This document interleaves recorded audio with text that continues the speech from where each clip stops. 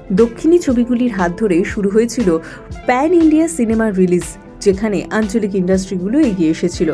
এবার সেইভাবেই এগিয়ে এসেছে জিতের চেঙ্গিজ। প্রথমবারের জন্য বাংলা ছবির ইতিহাসে এমন এক নজির গড়লেন অভিনেতা জিৎ।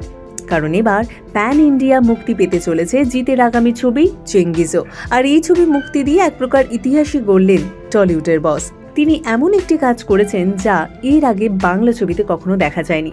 এর আগে অবশ্য বাংলা ভাষাতে মুক্তির পর হিন্দি ভাষাতেও মুক্তি পেয়েছে এমন ছবিও রয়েছে। তবে একই সাথে বাংলা এবং হিন্দিতে মুক্তি পায়নি এর আগে কোনো টলিউডের ছবি। সর্বভারতীয় ক্ষেত্রে চেঙ্গিজের ব্যবসা বাড়াতেই এমনই পদক্ষেপ নিয়েছে ছবির প্রযোজনা সংস্থা গ্রাসরুট এন্টারটেনমেন্ট ঈদ মানেই জিতের ছবি, তাই এই ঈদও তার ভক্তদের তিনি নিরাশ করছেন না। অবশেষে তিনি চেঙ্গিস রূপে বড় পর্দায় হাজির হচ্ছেন। কিন্তু তার আগেই অন্যরকম নজির সৃষ্টি করেছে রাজেশ গঙ্গোপাধ্যায় পরিচালিত এই ছবি। গত বছর ঈদে জিত নিয়ে এসেছিলেন তার অ্যাকশন থ্রিলার ছবি, যার নাম ছিল রাবণ। গত বছর তিরিশে নভেম্বর জিতের জন্মদিনে মুক্তি পেয়েছিল চেঙ্গিজেরই টিজার।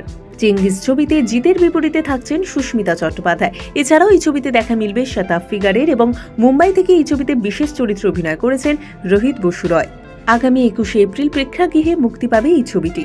এখন দেখার চেঙ্গিজ রূপে জিত দর্শকদের মনে কতটা জায়গা করে নিতে পারেন আর তার উত্তর পাওয়ার জন্য অপেক্ষা ছবি মুক্তির।